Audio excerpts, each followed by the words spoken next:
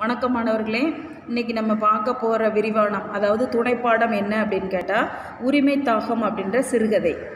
இந்த உரிமை தாகம் அப்படின்ற சிறுகதை எழுதிய ஆசிரியர் யார் அப்படின்னா பூ மாணிக்க வாசகர் பூ மாணிக்க வாசகர் இந்த பூ மாணிக்க வாசகர் அப்படின்றவர் தன்னுடைய பெயரை மாற்றி தன்னுடைய பெயரை மாற்றி எப்படி சுருக்கமாக எப்படி வச்சுக்கிட்டாரு அப்படின்னு சொன்னக்கி பூமணி அப்படின்ற பெயரில் இவர் எழுதி வருகிறார். இவர் எழுதிய க கதை எல்லாத்தையும் சேர்த்து பூமணி சிறுகதைகள் அப்படின்ற தொகுப்பில் இருக்குது. பூமணி சிறுகதைகள் அப்படின்னு. உரிமை தாகம்ன்ற இந்த கதையும் அதிலிருந்து எடுக்கப்பட்டது தான் சரியா?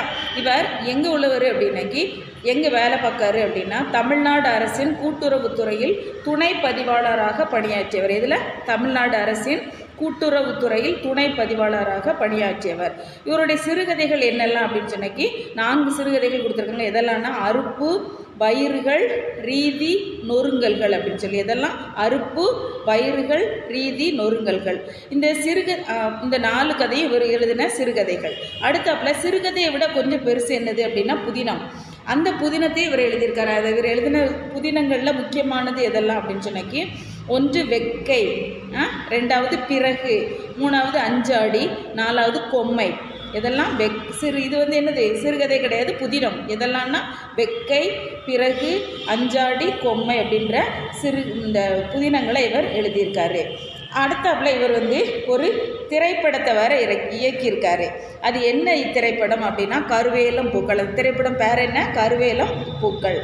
அப்புறம் இவர் சி- எழுதினார்ல புதினம். அந்த புதினங்களில் ரொம்ப சிறப்பு வாய்ந்தது எதுன்னா அஞ்சாடி அப்படின்ற புதினம். அந்த புதினத்திற்காக இவர் வந்து ரெண்டாயிரத்து பதினான்காம் ஆண்டு சாகித்ய அகாடமி விருது பெற்றார். இந்த இந்த வருஷம் ரெண்டாயிரத்து பதினான்காம் ஆண்டு சாகித்ய அகாடமி விருது பெற்றவர் இந்த பூமணி அப்படின்றவர். இனிமே இந்த உரிமை தாகம் அப்படின்ற கதை என்ன சொல்லியிருக்காங்க அப்படின்னு சொல்லி பார்ப்போம். இந்த கதையில் அண்ணன் தம்பி ரெண்டு பேர் வந்து அவங்களுடைய சண்டையை பற்றி தான் சொல்லியிருக்கு. சரி அண்ணன் தம்பி ரெண்டு பேரோட சண்டை. அதாவது அண்ணன் தம்பி யாரெல்லாம் என்ன பேரெலாம் அப்படின்னு சொன்னக்கி முத்தையன் அண்ணன் பேர் தம்பி பேர் வந்து வெள்ளைச்சாமி. முத்தையன் வெள்ளைச்சாமி. இந்த முத்தையன் வெள்ளைச்சாமிக்கு வந்து இவங்க ரெண்டு பேரும் தனியாக இருக்காங்க. அப்போ முத்தையன் அண்ணன்றனால கொஞ்சம் வயசு வந்தோடனே முத்தையனுக்கு திருமணம் நடந்துச்சு. முத்தையனோட மனைவி பேர் என்ன அப்படின்னா மூக்கம்மாள். முத்தையனோட மனைவி பேர் மூக்கம்மாள். அந்த மூக்கம்மாள் வந்ததுக்கப்புறம் இந்த வெள்ளைச்சாமி மூக்கம்மாள் ம அதாவது அண்ணி அப்படிதானே அண்ணனோட மனைவி அண்ணி அந்த அண்ணி மூக்கம்மாள் பின்னாடியே வெள்ளைச்சாமி சின்ன பிள்ளை மாதிரி அலைஞ்சிட்டே இருப்பார். இப்போ வந்து கொஞ்சம் வெள்ளைச்சாமிக்கு வயசாகி கொஞ்சம் வயசாயிட்டு வயசானோடனே திருமண வயது வந்தோடனே அவருக்கும் ஒரு பெண்ணை பார்த்து திருமணம் முடிச்சு வச்சுட்டாங்க. இப்போ அண்ணன் தம்பி ரெண்டு பேரும் நல்லா தான் இருந்தாங்க. ஆனால் திருமணம் முடிச்சதுக்கப்புறம் வெள்ளச்சாமியோட மனைவி கொஞ்சம் வந்து நீங்கள் எதுக்கு உங்கள் அண்ணன் கூட சேர்ந்து இருக்கணும்? நம்ம நம்ம தனி வீட்டுக்கு போவோம் அது இதுன்னு சொல்லி ரெண்டு பேரும் இப்போ தனியாக சாப்பாடு பண்ணிகிட்ருக்காங்க அண்ணனும் தம்பி இப்போ பிரிஞ்சிருக்காங்க ஏன் அப்படின்னு சொன்னக்கி அதாவது என்னது நம்மகிட்ட நிலம் அந்த நிலம் வந்து நம்மளுக்கு ஒரு முக்கியமான ஒன்று. மனிதனோட அந்த நிலத்தோட தொடர்பு ரொம்ப இருக்குது அப்படின்னு சொல்லி சொல்லலாம். அப்போ நிலத்துக்காக வெறும் ஒரு சென்ட் ரெண்டு சென்ட்டுக்கு சண்டை போடுறவங்க இன்னும் அண்ணன் தம்பிமார் இருக்க தான் செஞ்சுறாங்க. அப்போ இந்த அண்ணன் முத்தையனுக்கும் அவனுடைய தம்பி வெள்ளச்சாமிக்கும் நிலத்தகராறு வந்துட்டு. பாகம் பிரிச்சுட்டாங்க. பாகம் பிரிக்கும் போது ரெண்டோருக்கும் மனக்கசப்பு. அந்த நேரத்தில் தம்பி யார் யாரு? தம்பி வெள்ளச்சாமி சொல்லிட்டான். நீ எனக்கு அண்ணனாக்கும் இப்படி எனக்கு இடத்த பிரித்து குடிக்க அப்படின்னு சொல்லி கேட்கும்போது அது முத்தையனோட மனசை ரொம்ப கஷ்டப்படுத்திட்டு. அதில் இருந்து ரெண்டு பேருக்கும் வீ பெரிய வீட்டுக்கு நடுவில் சுரு குறுக்கு சோறு எழுப்பி தனித்தனியாக ரெண்டு பேரும் குடும்பம் நடத்திட்டு வராங்க. இது நடந்து கிட்டத்தட்ட தனித்தனியாக அவங்க பிரிஞ்சு ரெண்டு பேரும் தனியாக சமையல் பண்ணி சாப்பிட்டுட்டு இருக்காங்க. யாரெல்லாம்? முத்தையன் முத்தையனோட மனைவி மூக்கம்மாள். இந்த பக்கம் வெள்ளச்சாமி வெள்ளச்சாமியோட மனைவி. ரெண்டு பேரும் தனித்தனியாக குடும்பம் நடத்திட்டு இருக்கும்போது அண்ணன் தம்பி ரெண்டு பேரும் பார்த்தாலும் பேசிக்கிட மாட்டாங்க. இந்த சூழ்நிலையில் தம்பிக்கு ஒரு கஷ்டம் வந்துட்டு யார் தம்பி? இந்த வெள்ளச்சாமி. அந்த வெள்ளச்சாமிக்கு கஷ்டம் வரும்போது அந்த ஊரில் உள்ள ஒரு பெரியவர் வட்டிக்கு கொடுக்குறவர் பேர் என்ன அப்படின்னா பங்காருச்சாமி. மேலூர் பங்காருச்சாமின்றவர். அவர்கிட்ட போய் இந்த தம்பி வெள்ளச்சாமி ஒரு இரநூறுபா கடன் வாங்கிட்டான்.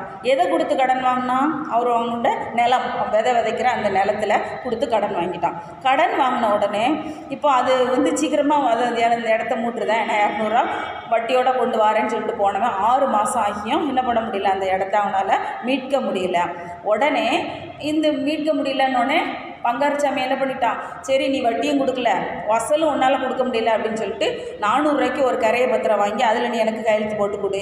இனிமேல் அந்த நிலம் உனக்கு கிடையாது அப்படின்னு பங்காரச்சாமி யார்கிட்ட சொல்லிட்டா? வெள்ளச்சாமிகிட்ட சொல்லிட்டான் உடனே வெள்ளச்சாமிக்கு ரொம்ப வருத்தம். ஆனாலும் சரி என்ன செய்ய அப்படின்னு சொல்லி கையெழுத்து போட்டு கொடுத்துட்டு வீட்டுக்கு வந்துட்டான். வீட்டுக்கு வந்தோடனே அவனோட மனைவிட்ட சொல்லிட்டு இருக்கிறத இந்த அண்ணனோட மனைவி யார்? மூத்தையனோட மனைவி மூக்கம்மா அப்பா கேட்டுட்டு இருந்தான். கேட்டுட்டு இருந்துட்டு அவங்க ரெண்டு பேரும் இப்போ வெளியே எங்கேயோ போயிட்டாங்க.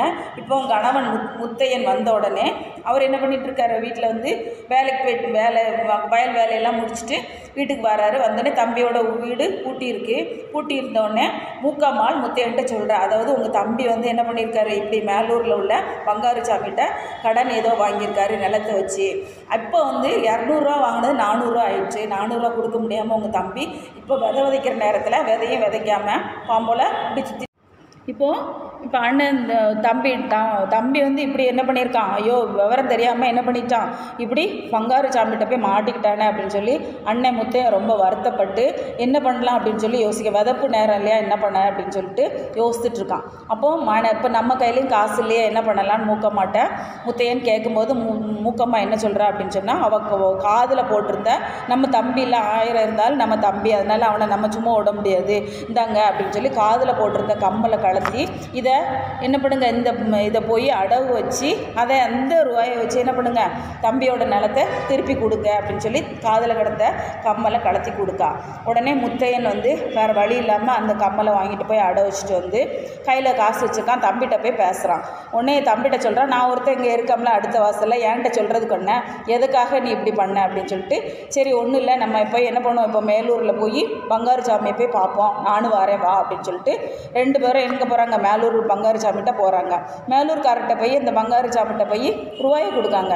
ரூபாயை கொடுத்த உடனே அவர் என்ன சொல்கிறாரு இல்லை இல்லை என்கிட்ட வந்து வெள்ளையா வந்து வெள்ளைச்சாமி எப்படி கையெழுத்து போட்டான்? நானூறுக்கு கரையான்னு சொல்லி பத்திரம் பத்திரம் போட்டு வச்சுருக்கேன். அதனால் என்ன பண்ண முடியாது?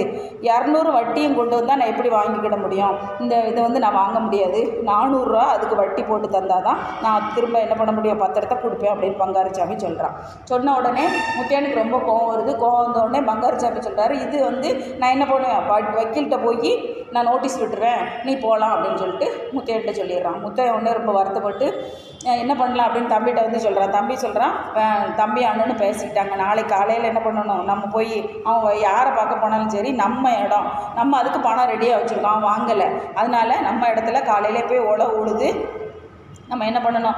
நம்ம விதை விதைச்சிடணும் அப்படின்னு சொல்லி ரெண்டு வரும் காலையிலே சேர்ந்து அண்ணன் தம்பி இப்போ சேர்ந்துக்கிட்டாங்க. சேர்ந்து எங்கே வராங்க அவங்களோட நிலத்துக்கு வராங்க.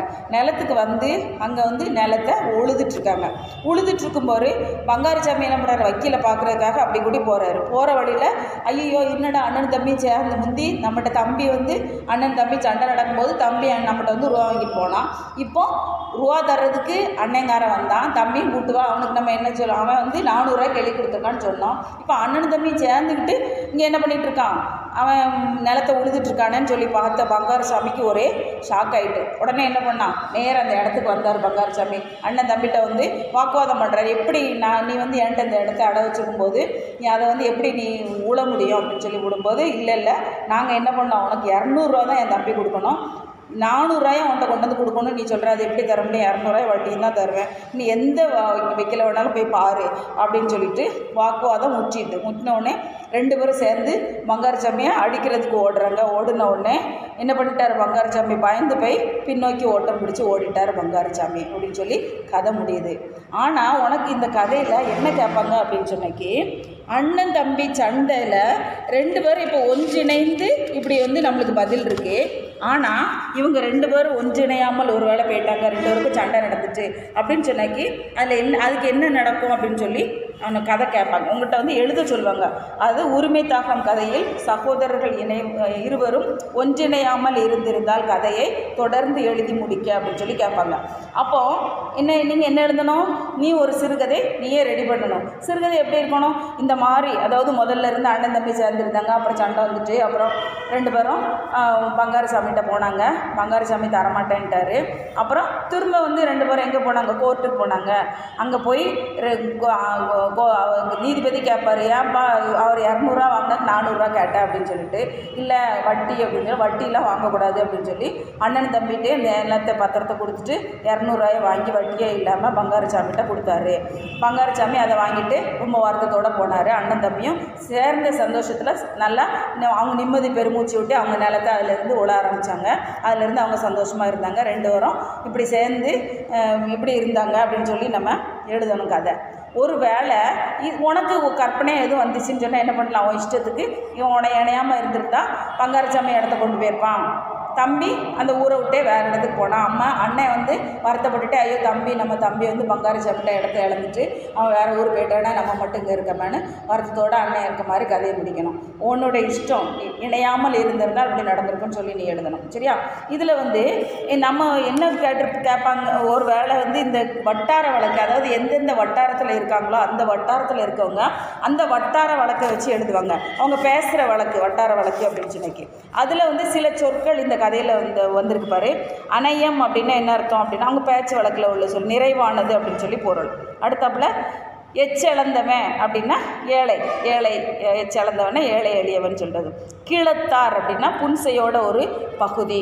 கிராமுனுசு கிராமுனுசுன்னு இப்போவும் சொல்லுவாங்க. அவங்க யாருன்னா? கிராம நிர்வாக அலுவலர். கொடை வாங்கல் அப்படின்னா கொடுக்கல் வாங்கல். திருநெயில் உட்காந்துருந்தான் அப்படின்னா திண்ணை. வீட்டுக்கு வெளியே இருக்கக்கூடிய திண்ணை. திகஞ்சதை அப்படின்னா என்னால் திகஞ்சதை கொடுப்பேன் என்னால் முடிஞ்சதை கொடுப்பேன் அப்படின்னு சொல்லி பொருள். பிஞ்ச நஞ்ச இதெல்லாம் நன்ஸ் பிஞ்சன புன்சை நஞ்சன நன்சை அப்படின்னு சொல்லுவோம். அடுத்து ரோசி ஒன்று உரசி எடுக்க உரசுதல். அப்படி வாந்தக்கமாக அப்படின்னா இணக்கமாக விதைப்பெட்டி அப்படின்னா விதைப்பெட்டி. வெள்ளங்காட்டினா விடிய காலை வெள்ளங்காட்டி எழும்பி போகிறேன் அப்படின்னா விடிய காலை. வேண்டார வேண்டாதுன்னா வேண்டாத தெய்வம் இல்லைன்னு சொல்லுவோம்ல அதுமாதிரி வேண்டாத. திருகை அப்படின்னா திருக்கைன்னு சொல்லுவோம் இல்லை மாவு அரைக்கக்கூடிய கல். அப்புறம் குறுக்கம். குறுக்கம் சின்ன நிலப்பரப்பு குறுக்கம். கடகம் அப்படின்னா ஓலைப்பெட்டி. இந்த சொற்கள்லாம் அந்த கதையில் நமக்கு வந்திருக்கு. இதை வந்து இதுக்கு என்ன பொருள்னு சொல்லியும் கொடுத்துருக்காங்க. சரியா? நான் சொன்ன கதை உனக்கு புரிஞ்சிருக்கும்னு நினைக்கிறேன் ஆனால் இந்த கதையை வச்சு நீங்கள் என்ன எழுதணும்னா ரெண்டு பேரும் ஒரு வேளை அண்ணன் தம்பி சேராமல் இருந்தால் என்ன நடந்திருக்கும் அப்படின்னு சொல்கிறது தான் நீ எழுத வேண்டிய கதை. சரியா? நான் சொன்னது புரிஞ்சிருக்கும்னு நினச்சேன். ஏதாவது கொஸ்டின் உனக்கு இது இதில் எதுவும் சந்தேகம் இருந்தால் என்னுடைய காண்டாக்ட் நம்பர் ஒன்று இருக்குது நீ ஃபோன் பண்ணி கேட்கலாம். தேங்க்யூ